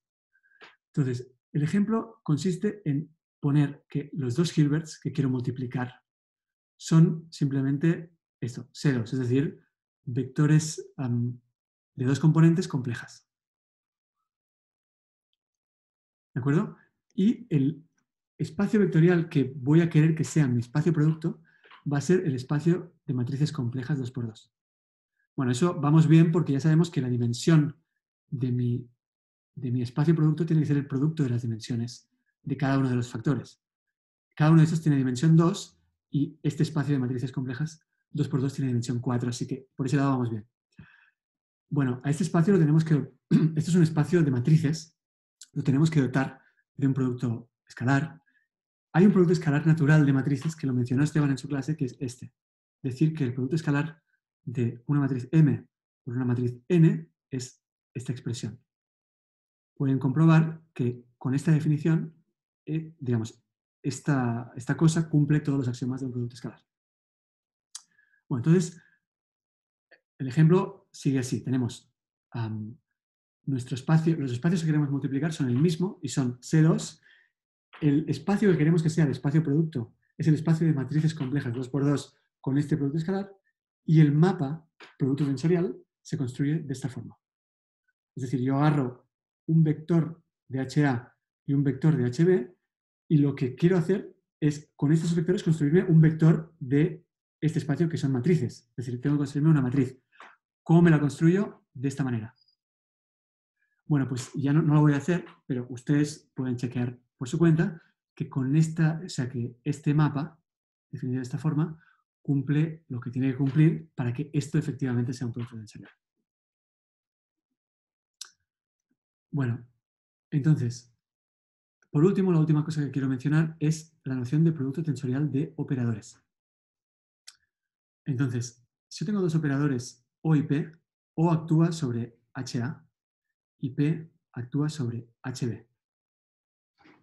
Entonces, el producto tensorial de estos dos operadores es un operador que actúa sobre HA por HB. Y se define de esta forma. Este operador, actuando sobre un estado producto, lo que me da es el producto tensorial del primero actuando sobre el primer factor por el segundo actuando sobre el segundo factor. Entonces, ustedes me dirían, bueno, esto no define completamente al operador, porque no en general no todos los vectores de HA por HB van a tener esta forma. Lo, único que sé, pero lo que sí sé es que todos los vectores de HA por HB son combinación lineal de vectores de esta forma. Entonces, la definición del producto tensorial se extiende a todo HA por HB por linealidad. Bueno, espero que, ah, esto haya sido claro y, si no lo ha sido, por lo menos que puedan, entre esto y mechando con lo que ya saben, que, tengan bien claro lo que es un producto tensorial y lo que es el producto tensorial de los operadores. Y si no, bueno, lo vamos a seguir trabajando sin, ningún problema. Bueno, entonces vamos a hablar ahora sí de entrelazamiento. Entonces, si tenemos dos sistemas cuánticos, A y B, cada uno de los sistemas tendrá su Hilbert asociado. El sistema A tiene asociado el Hilbert HA, el sistema B tiene asociado el Hilbert HB. Entonces, y esto es, bueno, yo creo que esto habría que incluirlo, es, una especie de postulado implícito de la, de la, cuántica. No, me parece que eso es una cosa que se pueda deducir de los postulados de la cuántica, pero bueno, decimos que el Hilbert ah, correspondiente al sistema global formado por A y B es el producto tensorial de estos, del Hilbert de A y el Hilbert de B. Entonces, bueno, Quizá no lo enfaticé lo suficiente, pero es así, lo, quiero, lo voy a enfatizar ahora. Ah, vuelvo a decir, o sea, este espacio tiene entre, todos, entre sus elementos los, los, vectores producto, los que se obtienen calculando el producto tensorial de un vector de HA por un vector de HB. Pero estos vectores no son todos los elementos de este espacio. Esos vectores generan el espacio, pero no son en general todos los elementos del espacio. Bueno, entonces ahora agarremos un estado del sistema completo, es decir, un estado del Hilbert global. Entonces decimos que ese estado es separable si ese estado sí se puede escribir como un producto. Un producto tensorial de un estado de A por un estado de B. Si no, si no se puede, entonces decimos que es entrelazado. Entonces vamos a ver un ejemplo, algunos ejemplos en el, caso de dos qubits. O sea, ahora nuestros sistemas A y B van a ser los dos. O sea, el sistema A es un qubit, el sistema B es otro qubit. Vamos a ver un par de ejemplos, un ejemplo de un estado separable y otro que no es. Pensemos en este estado, el estado más más. Este estado es separable porque es el estado que es el producto, o sea, ese estado representa el hecho de que el primer qubit está en, ah, el estado más y el segundo qubit está también en el estado más. Este, este, estado es el producto de más por más, así que es un estado separable. En cambio, este no es separable. Este estado está entrelazado. Vamos a ver ah, por qué. Bueno, de entrada ustedes pueden decir, no, ya lo veo que no está entrelazado, porque no, es, o sea, es una combinación lineal de estados producto. Pero, claro, ah, o sea, lo que tienen que, para asegurarse de que este estado no es separable, lo que tienen que asegurarse es de que no hay ningún par, ah, o sea, que no hay ninguna forma de reescribir esto como un producto de un estado del primer qubit por un estado del segundo qubit. Eso es lo que hay que hacer para asegurarse de que ese estado no es separable, o en otras palabras, que, que está entrelazado. Vamos a hacer eso. O sea, vamos a suponer que este estado se puede escribir como el producto de un estado de A por un estado de B. O sea, un estado del primer qubit por un estado del segundo qubit. Vamos a suponer eso. Entonces, bueno, tenemos que nuestro estado, que era esta expresión, que es lo mismo que tengo acá, nuestro estado es el producto de, bueno, es este producto que lo volví a escribir acá abajo. Lo único que hice fue expandir psi A en la base más menos y psi B también en la base más menos. Es decir, estos, esto de acá son números. Son los, esto de acá son los coeficientes de psi A en la base más menos. Esto de acá son los coeficientes de psi B en la base más menos. Bueno, entonces estoy suponiendo que puedo escribir mi estado como un producto, es decir, estoy suponiendo esta ecuación. Bueno, ahora usando que el producto tensorial es bilineal, distribuyo este producto. No hace falta acordarse cada vez de que es bilineal. o sea, la bilinealidad es, una propiedad natural de un producto, así que está. O sea, puedo trabajar con este producto como si fuera un producto de toda la vida, entonces puedo distribuir. Entonces, si distribuyo, obtengo esto de acá. Entonces, bueno, fíjense que de este lado no tengo ningún estado más menos. Acá sí tengo un estado más menos. Eso significa que este coeficiente de acá tiene que ser cero para que se cumpla esta igualdad. Y lo mismo, este de acá también tiene que ser cero porque acá no hay ningún menos más. Así que bueno, para que se cumpla esto necesito que este producto sea cero y que este producto sea cero. Pero ahora, si esto es cero, pueden pasar las cosas o que psi A más sea cero o que psi B menos sea cero. Una de dos, o, una o la otra. Entonces, si psi A más es cero, entonces acá tengo un cero. Así que entonces no tengo, o sea, no tengo componente más más, pero eso está mal, porque el vector original tiene componente más más. Así que no puedo, o sea, el caso si A más igual a cero no vale, porque no me reproduce el vector que yo quiero reproducir. Y el caso si b menos igual a cero tampoco vale, porque si psi b menos es cero, entonces esto de acá es cero, y entonces este vector no tiene componente menos menos, cuando este sí la tiene.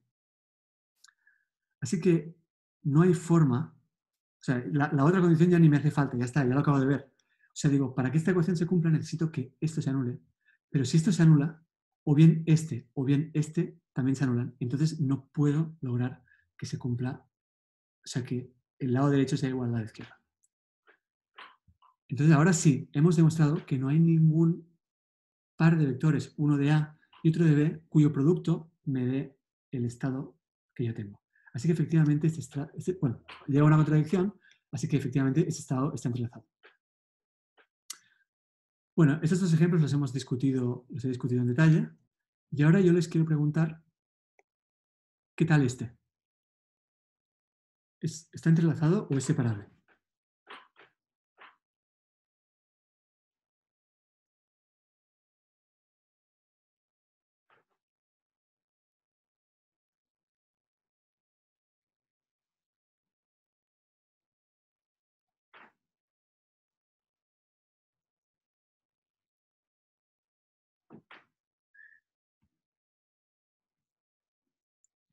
Facundo dice, parece, parece separable, Andrés separable.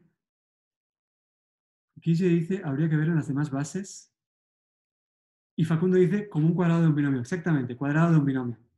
O sea, este está, efectivamente, este estado, fíjense que,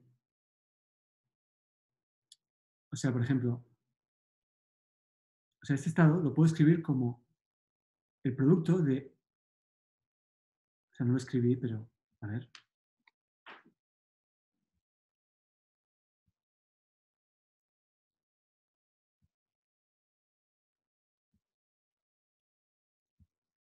A ver si puedo. Bien. O sea, esto, esto de acá lo puedo escribir como más más menos por um, el mismo.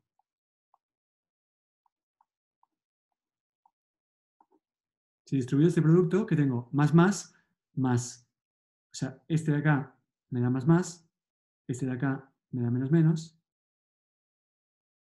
este de acá me da más menos, este de acá me da menos más. Así que este estado es producto.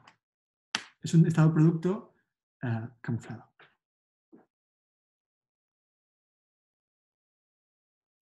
Cuando digo producto quiero decir separable, bueno, es lo mismo. Bien, bueno, entonces, listo. Por último, bueno, esto, ya hablamos un poco de entrelazamiento. Entonces, ahora vamos a introducir la matriz de densidad reducida y ya en breve terminamos. Pero es muy importante el concepto de matriz de densidad reducida. Entonces,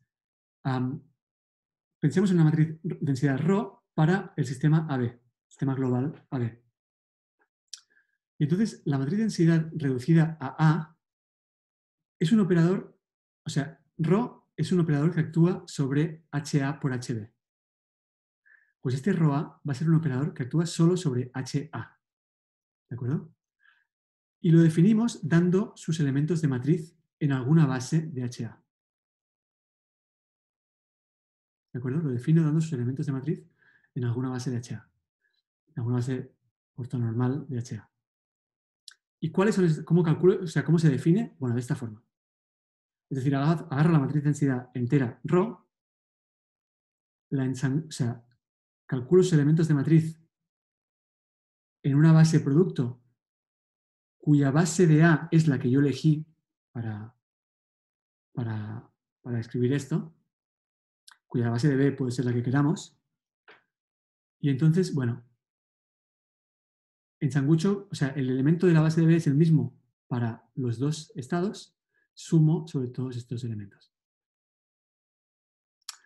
Esto si se quiere, bueno, lo que estoy haciendo es, estoy tomando una traza sobre una base de B. esto se le llama, esta operación se le llama la traza parcial. Se dice que ρA es la traza parcial de ρ sobre B y se escribe de esta forma.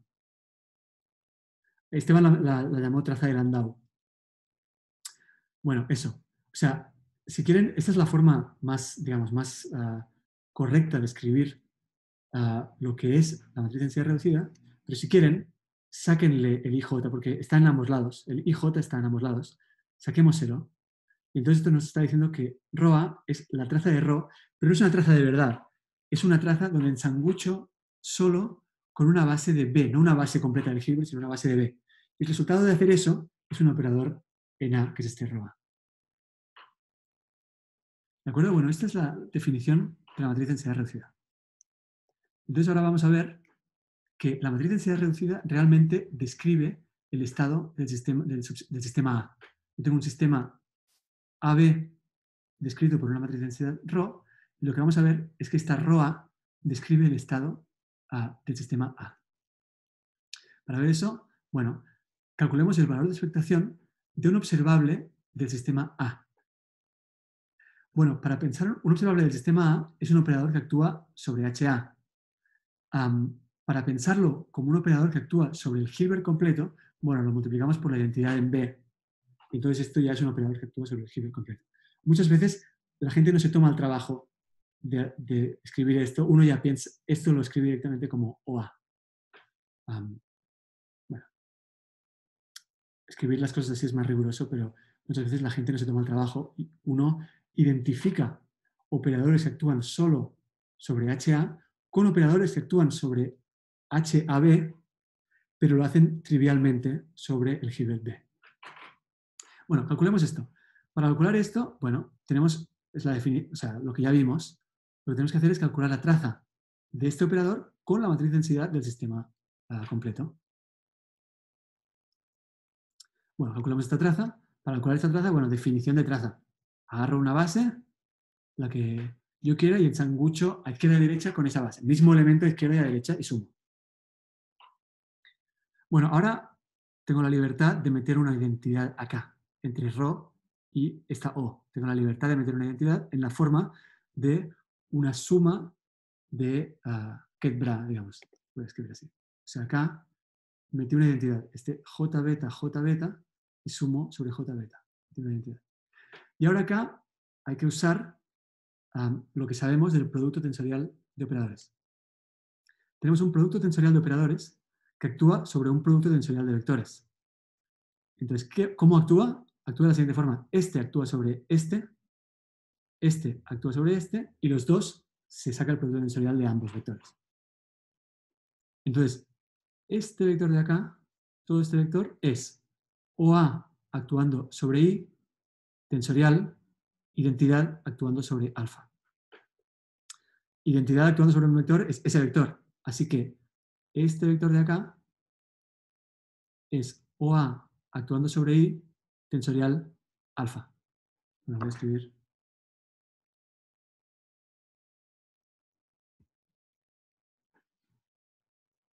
O sea, este de acá es OA actuando sobre I,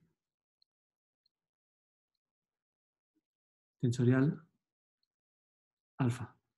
Y ahora acá tengo un producto, un producto escalar entre dos productos tensoriales de vectores, que ya sé cómo calcularlo. O sea, este producto escalar, todo el producto escalar que tengo ahí, es este por este, o sea, esto es J o A y por beta alfa. Aplicando lo que nosotros sabemos que significa tomar el producto escalar de dos vectores que son a su vez productos tensoriales de otros dos vectores. Bueno, y esto, esto de acá, como las bases son ortonormales, esto de acá es una delta alfa beta.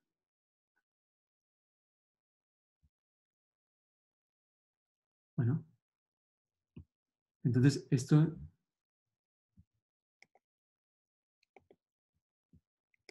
es esto de acá. O sea, toda esta, esta cosa, ya hemos visto que daba esto por una delta alfa beta. Significa que esta beta que aparece acá tiene que ser una alfa y ya no tengo que sumar sobre beta.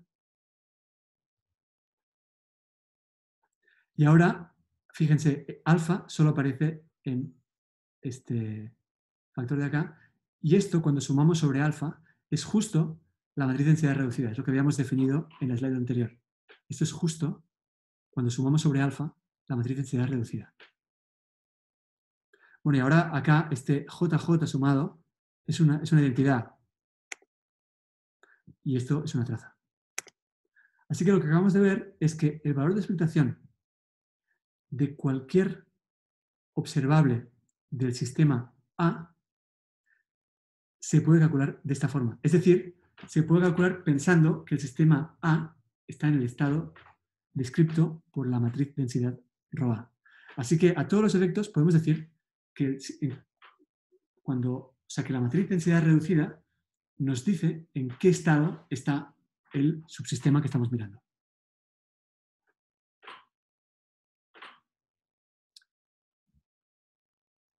Bueno,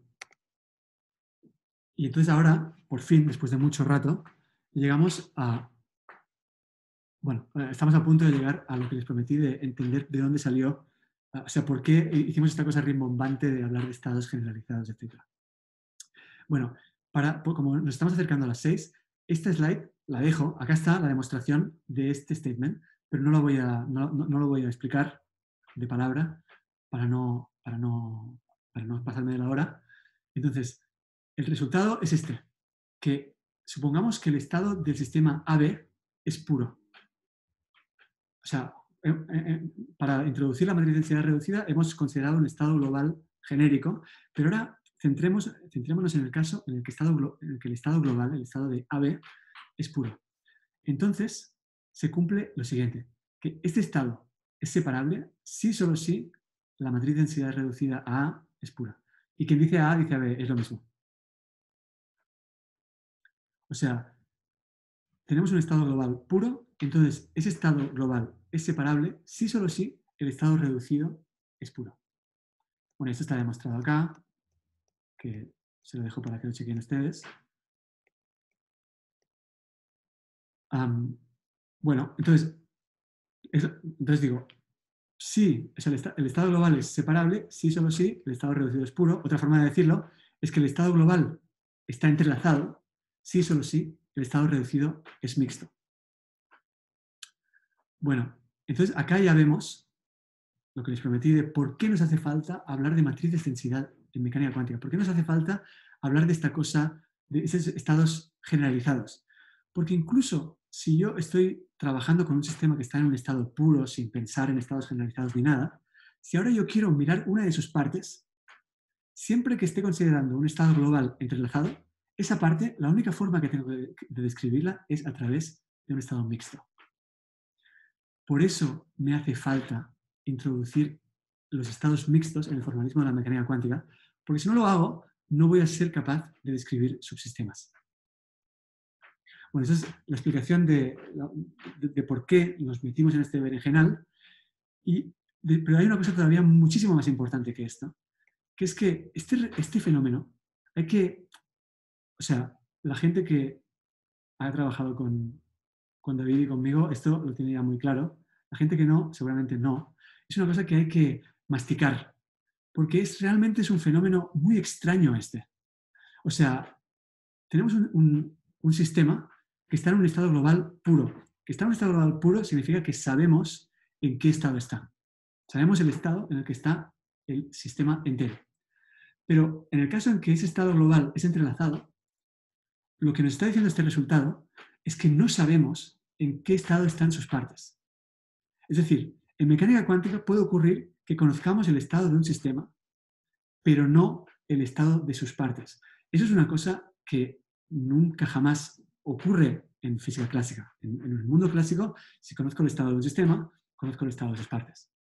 En mecánica cuántica, conocer el estado de un sistema no significa que conozcamos el estado de sus partes. Bueno, por eso, y eso ocurre cuando pasa esto de conocemos el estado del sistema y no de sus partes, eso ocurre cuando el estado del sistema está entrelazado. Por eso se dice siempre que el entrelazamiento es un fenómeno intrínsecamente cuántico. Eso seguro que lo escucharon muchas veces, bueno, la razón por la que es intrínsecamente cuántico es esta que les acabo de. Bueno, entonces, por último, hablemos de entropía de entrelazamiento. Simplemente, o sea, hemos visto que la entropía de von Neumann de una matriz densidad cuantifica cuán mezclada es esa matriz densidad. Hace un momento acabamos de ver que el, el hecho de que cuando el estado global es puro, el hecho de que la matriz de densidad reducida sea mixta está unívocamente relacionada, relacionado con el hecho de que el estado global esté entrelazado. Entonces, la entropía ah, de la matriz de densidad reducida, que cuantifica cuán mezclada es la matriz de densidad reducida, está cuantificando cuán entrelazado es el estado global psi. Por eso, a esta entropía, la entropía de von Neumann de la matriz de densidad reducida, se la llama entropía de entrelazamiento. Y bueno, y cierro con propiedades, propiedades, propiedades que me voy a demostrar. La primera propiedad es, es esta, que ya les mencionó Esteban, y que yo no voy a probar, pero Esteban sí la va a probar, que es que si el estado del sistema AB es puro, entonces la entropía de A es igual a la entropía de B. Y Esteban ya les, hizo mención a esto, ya, ya, puso un ejemplo muy bueno, que es este el electrón contra todo el universo. Eso creo que es un, es un, es un ejemplo que da um, una idea de, lo que significa esto. Bueno, esto se prueba usando la descomposición de Smith, que esto se, lo va a contar Esteban. Así que no, no voy a entrar en eso. En todo caso, es una cosa sencilla de entender. Esto lo van a entender fácilmente. Se lo va a explicar Esteban. Si no logran entenderlo al momento, lo pueden hacer ustedes y lo van a entender. La otra propiedad de, la entropía de entrelazamiento es la subaditividad, que también les contó Esteban. La entropía de AB es menor o igual a la suma de las entropías de A y B. esto se prueba, y esto lo, esto lo probó, ya lo probó Esteban, a partir de la positividad de la entropía relativa, que también probó. Así que ustedes tienen todas las herramientas para entender perfectamente esta, el origen de esta desigualdad. bueno, esta de la subjetividad. Pero hay una tercera propiedad, que es la famosa subjetividad fuerte que ya introdujimos cuando hablamos de la entropía de Shannon. Bueno, sí, la introdujimos cuando hablamos de la, de la entropía de Shannon. Bueno, esta propiedad la cumple la entropía de Shannon y esta también, que es la subjetividad fuerte. Bueno, esta propiedad es difícil de probar, es verdaderamente difícil. Para probarla, o sea, la forma como se prueba es probando primero una cosa que se llama la monotonicidad de la entropía relativa. O sea, si uno prueba la monotonicidad de la entropía relativa, ahí puede probar la subjetividad fuerte fácilmente, pero es difícil probar la monotonicidad de la entropía relativa. Es decir, este es un resultado altamente no trivial en mecánica cuántica. Bueno, y les recuerdo la interpretación de esto o sea, para recordar como regla mnemotécnica de esto, tenemos subsistema A, sistema B, sistema C. Entonces pensamos en los sistemas AB y BC, que son el sistema azul y el sistema rojo. Esta desigualdad nos dice que la entropía de la unión de los dos subsistemas, que es todo esto ABC, más la entropía de la intersección, que es esto, es menor o igual a la suma de las entropías de los subsistemas. Bueno, esa es una propiedad muy importante, altamente no trivial, que no vamos a probar acá. Es difícil de probar, pero en la guía tienen un problema que van a tener que hacer, donde van a comprobar esta propiedad numéricamente. Bueno, acá tienen las referencias. hay un libro de Preskill que está, es, abierto sobre computación cuántica. Es muy largo el libro, tiene muchas cosas, pero pueden chusmear los capítulos 2 y 10, que están muy buenos y hablan de, cosas que hemos comentado acá más en detalle. Después acá, ah, el statement que les hice de que la entropía de von Neumann minimiza la de Shannon, para empezar a entenderlo, si alguno quiere, puede empezar leyendo este paper. Y por último, y eso es lo que más les recomiendo, es que vean la clase de hoy de David Blanco en Teórica 2, donde habló de entrelazamiento y habló sobre cómo usar el entrelazamiento para teleportar un estado cuántico. No les digo más, o sea, lo único que hago es emplazarlos a que vean esa clase. Y bueno, ahora sí, vámonos, a, vámonos con Gastón, que nos va a contar cosas, cosas grosas. Bueno, hay cinco minutos para preguntas, si alguno tiene alguna pregunta. Que fue un poco rápido la última parte, pero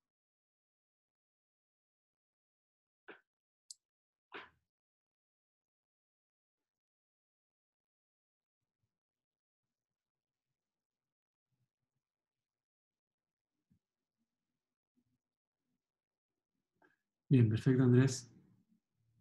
Bueno, yo voy parando la grabación y si surgen...